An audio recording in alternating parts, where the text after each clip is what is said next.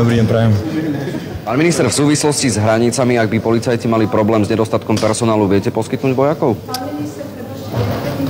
Nemôž, nemôžem, lebo už výborný beží asi, na ktorý som mal ísť. E, čiže v prvom rade, e, samozrejme, ja som o tom hovoril s pánom ministrom vnútra, sme pripravení o tom diskutovať, ale potrebujem detaily. A o aký počet by bolo, za akých podmienok. Zatiaľ evidujem, že v prípade Českej republiky nie sú nasadené ozbrojené stíly len policajný zbor na ochranu hraní, čiže potrebujem vedieť toto jednoducho zdôvodniť, ale áno, tak ako sme vždy boli ochotní pomôcť, tak sme ochotní aj teraz, len uh, diabolo v detailoch, tak si počkáme na detaily. Pán minister, ako bude vyzerať v praxi vlastne, vlastne vláda odsúhlasila tú novelu zákona o vojenskom spravodajstve. Ako to bude vyzerať v praxi, napríklad to pokutovanie? Čiže keď niekto bude v blízkosti uh, vojenského objektu, tak uh, čo?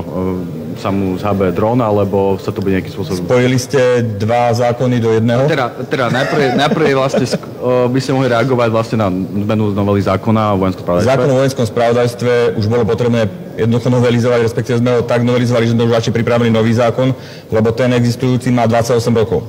A viete si predstaviť, že za 28 rokov z hľadiska hybridných hrozieb, kybernetických hrozieb, aplikačnej praxe sa ukázalo množstvo nedostatkov, ktoré tam sú a navyše e, história pána bývalého riaditeľa Balacera nám ukázala, že je potrebné zvýšiť aj transparentnosť týchto procesov e, a preto jednoducho sme do zákona zakomponovali aj to, aby e, vojenské spravodajstvo mohlo byť z hľadiska majetkových vzťahov kontrolované aj najvyšším kontrolným úradom, aby to bolo explicitne napísané v zákone. Ja už som to umožnil mojim rozhodnutím aj teraz, ale jednoducho nebolo to v zákone, preto uh, aj takéto veci sme tam dali. Čiže zákon o vojenskom spravodajstve som veľmi rád, že sa konečne niekto dohodol ho novelizovať a prešiel naozaj jednohlasne bez problémov na vláde a verím, že tak, tak bude aj v Národnej rade Slovenskej republiky. A teraz... Zá, zákon o dronoch, zjednodušenie, je, to znamená zákon o, o ozbrojených silách, novelizácia týkajúca sa e, možnosti zásahu e, proti dronom. Môžem potvrdiť, že sme zachytili veľmi vysoké množstvo používania bezpilotných prostriedkov e, v súvislosti e, alebo veľmi v blízkosti začiatku vojny na Ukrajine a potom po začiatku vojny e, a zistili sme, že potrebujeme urobiť také kroky, aby sme mohli prerušiť let týchto dronov, ktoré narúšajú bezpečnosť vojenských objektov alebo presunú vojenské techniky a tak ďalej. A to hovoríme jednak o možnosti fyzického prerušenia, ale tiež o prevzatí, o zachytení toho dronu a tak ďalej. Jednoducho to neznamená, že ho musíme zničiť, ale že ho môžeme aj prevziať e, prevziať na ním kontrolu alebo zachytiť do špeciálnych sietí a tak ďalej. Čiže toto všetko nám umožňuje e, tá novelizácia, o ktorej hovoríme a jednak to umožňuje pre ozbrojené síly a jednak aj pre vojenskú policiu, aby mali rovnaké právomoci v tomto. Aké drony boli na, naš, na, na našim územím? Teda neboli to slovenské drony, hej? No tak to je ťažko definovať, keď ho neviete e, zachytiť, ale uh, my máme dneska prostriedky na to, aby sme vedeli presne určiť, kade letel, aká bola trajektória, odkiaľ bol ovládaný a tak ďalej.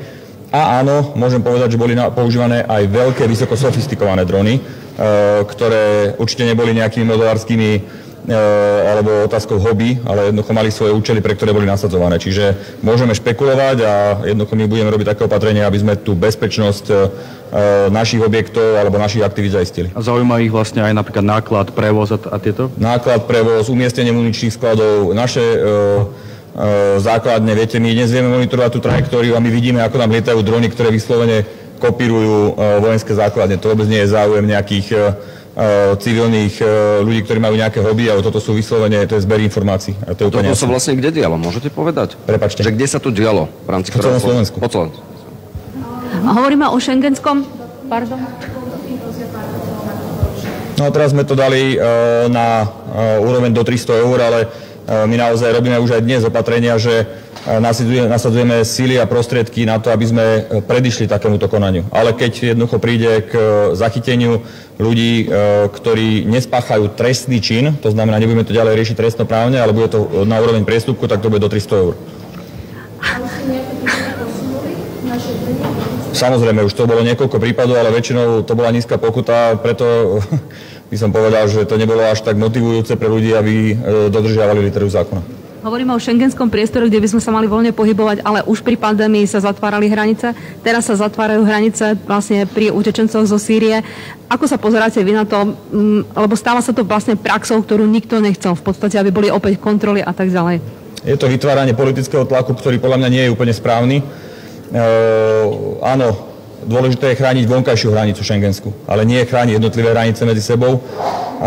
My sme boli opakovane informovaní pánom ministra vnútra na rokovaní vlády o tom, že je tu nárast počtu migrantov, áno, z oblasti najmä Sýrie, ale nie len, aj z oblasti Severnej Afriky, aj z Ruska a máme naozaj zvýšený záchyt tých migrantov na našom území. Nemecko má pocit, že Česká republika ich dostatočne nezachytáva, tak títo položili na hranicu Slovensko-Česku. My teraz budeme musieť pravdepodobne smerovať k maďarskej hranici.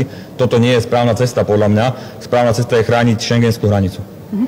Pán minister, e, mňa by zaujímalo, ako vy vnímate tú situáciu, že teda či to zavedenie tých e, kontrol e, s Rakúskom neznamená vlastne tak trošku aj zlyhanie našej policie, a teda, že sme zanedbali kontroly na našom území. Viete, každý to bude posúvať ďalej na inú krajinu. My budeme tvrdiť, že k nám prichádzajú z Maďarska, Česi budú hovoriť, že k tým prichádzajú zo Slovenska.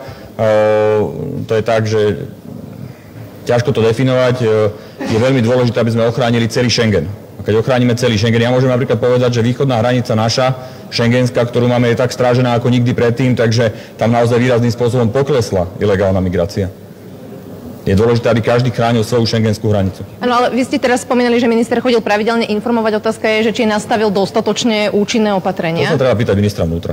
Ešte sa chcem k inej otázke spýtať. Vy ste viackrát avizovali rokovania v súvislosti s možným získaním grantu eh, od špeciálneho fondu USA. Eh, dopadlo to teda už nejakým spôsobom, alebo... Dopadlo to a ja som eh, pôvodne uvažoval, že to budem samostatne o tom informovať, ale ďakujem pekne za tú otázku. Môžem s veľkou radosťou povedať, a to je naozaj veľká vec, a teraz to poviem prvýkrát verejne, že sa nám podarilo získať z dvoch grantov Spojených štátov amerických pre ozbrojené síly a pre rezervu obrany 205,8 milióna dolárov. 205,8 milióna dolárov, to je historická suma, ktorú môžeme použiť jednak na nákup techniky e, pre ozbrojené sily a jednak e, to je 200 miliónov a tých 5,8 je na e, konanie proti jednak práve anti, antidronová ochrana a jednak hybridné hrozby. To znamená, je to veľmi veľká vec, len pre vašu informáciu 1,1 miliardy, myslím, bolo rozdelených medzi 18, ak si správne spomínam to číslo spojencov, USA a my sme z toho dostali 200 miliónov. Čiže my dostali jednu petinu napriek tomu, že bolo 18 krajín, ktoré uh, tie peniaze boli prerozdelené. Je to veľký úspech, uh, dovolím si povedať, ministerstva obrany, našich vzťahov, ktoré máme v zahraničí a, a naše politiky, ktorú vedieme dneska. Takže som za to veľmi rád, je to veľmi veľká správa naozaj pre ozbrojené sily, lebo s tými 200 miliónov my vieme urobiť ďalší veľký modernizačný projekt pre naše ozbrojené sily. A teda tie peniaze sú zrejme teda nejakým spôsobom viazané a máte teda jasnú predstavu, čo s nimi? O tom e, budeme ďalej hovoriť na ministerstve obrany, lebo my máme samozrejme zoznam priorít, ktoré potrebujeme riešiť a e, tie, tú techniku, tie peniaze musíme použiť na tú techniku, ktorá je v používaní ozbrojených síl USA. Ale to je samozrejme množstvo technik, ktorú my potrebujeme. To znamená, my si povieme, chceme napríklad túto konkrétnu techniku, lebo potrebujeme, ja neviem, drony, alebo potrebujeme protizdušnú obranu, alebo potrebujeme bojové, teda viadučové vozidla 4x4 tak e, jednoducho to všetko je e, možnosť si vybrať a, a tým vyriešime jednu celú oblasť z hľadiska modernizácie, ktorá, ktorú nám treba. Za peniaze, ktoré prídu ako dar Slovenskej republiky vo výške viac ako 200 miliónov dolárov. A keď hovoríte teda o takomto úspechu, tak sa spýtam, že čím to je, že čím sa to podarilo? No je to presne o tom, že sa správame zodpovedne, že sme zodpovední spojene, že komunikujeme, že absolvujem naozaj, dovolím si povedať, možno niekedy aj 10 bilaterálnych rokovaní za mesiac, stretávame sa, máme úzke kontakty, hovoríme o našich potrebách a správame sa zodpovedne. Toto všetko, keď dáte dokopy, tak zrazu zistíte, že nie, že sa kradne, ako sa kradlo v minulosti v rezorte obrany, ale že nám dochádzajú peniaze e, naozaj vo forme grantov alebo vo forme techniky od našich spojencov zadarmo. A tu si dovolím povedať ešte jednu vec, že čo skoro vás budem informovať o ďalšom veľkom úspechu, ktorý Eh, budem asi v najbližších dňoch podpisovať a opäť bude, to bude veľmi dobrá správa aj pre Slovensko, aj pre naše ozbrojené síly a aj pre náš obranný priemysel. Takže verím tomu, že to sú dôkazy toho, že tie stretnutia, tá intenzívna práca, ktorú robí celý tým na ministerstve obrany, prináša naozaj eh, veľmi dobré výsledky a môžeme byť hrdí na ozbrojené síly a na, na náš rezort. Pán minister, čiže implementácia toho komunikačného zariadenia do tých eh, tankov Leopard pôjde z tohto grantu, alebo, alebo nie. toľko, že ja neviem, to je iný grant, hej? To je, to, to, nie. Toto sú úplne nové peniaze, ktoré nikdy neboli plánované pre Slovenskú republiku a ktoré sme dostali našou činnosťou, našou diplomáciou, ktorú realizujeme voči ozbrojeným silám USA a, a voči Pentagonu. Jednoducho o tom toto je celé, že sa nám podarilo získať 200 miliónov, ktoré boli v noci schválené americkým kongresom. Čiže je to ako keby daná vec. Či, a čo ešte, ako reagujete vlastne na tú situáciu v Baltickom mori, k úniku toho plynu? Uh, krajiny ako Švédsko, Dáni sa zatiaľ tak nejasne vyjadrujú, bola to sabotáž, nebola? Uh, ako Ak by toto mala byť náhoda, bola by to obrovská náhoda. My sa tiež prikláňame k tomu, že ide skôr o sabotáž a teraz to treba naozaj dôsledne vyšetriť, že sabotáž koho.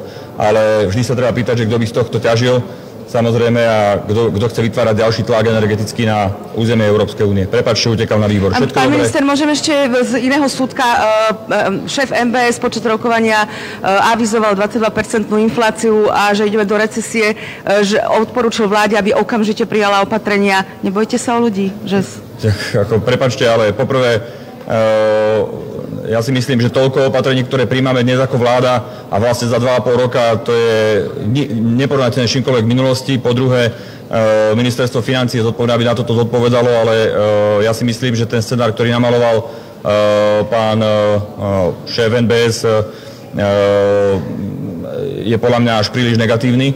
A po tretie, oni asi počítajú s tým, že keby sa nič z toho, čo je plánované, neurobilo, aký by to malo dopad. Ale my už dnes vieme, že veľmi veľa vecí urobíme, aby jednoducho tá inflácia nebola taká veľká a tak ďalej. Ďakujem pekne, majte sa.